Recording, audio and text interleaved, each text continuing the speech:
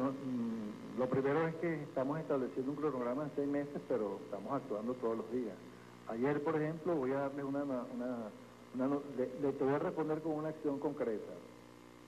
Ayer recibimos dos millones de unidades de medicamentos en la, madrugada.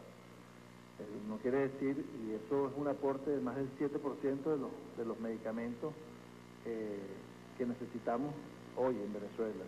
Y van a ser el lunes mismo, van a ser eh, distribuidos a través del 800 Salud. Y ahí en Puerto tenemos unos cuantos, unas cuantos millones de toneladas de alimentos que están haciendo sus procesos para el ingreso a Venezuela, es decir, de materias primas. Y eh, el comandante entregó la semana pasada no sé cuántos millones de, de- de bol- de bolívares en semilla. Es decir, al pueblo lo que le podemos responder es que estamos trabajando todos los días y que estamos incrementando la producción. Eh, y que si bien reconocemos que tenemos unas, algunas debilidades, la semana que viene ya debemos tener un nuevo sistema de distribución y debemos empezar a medir los impactos de manera inmediata. Nosotros los resultados los vamos a empezar a obtener de manera inmediata. Hemos planteado seis meses eh, para estabilizar todo el sistema de producción y distribución. Un compromiso que hemos hecho público además.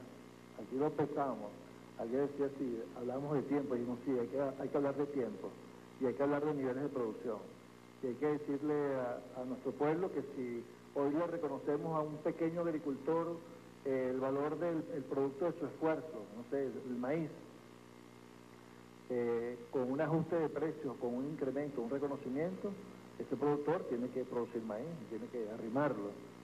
Tiene que haber un compromiso eh, mutuo y ese es el que estamos estableciendo hoy. A nuestro pueblo la máxima confianza en la revolución bolivariana, en nuestro gabinete y en nuestro presidente, que progresivamente vamos a ir quebrándole eh, el espinazo a los especuladores, al bachaqueo, al, aca- al acaparamiento y al contrabando de extracción.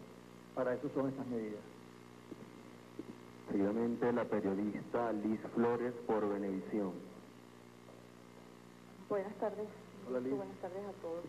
En principio quiero conocer cuál es el balance que tiene el gobierno nacional en cuanto a lo que ha sido una medida alterna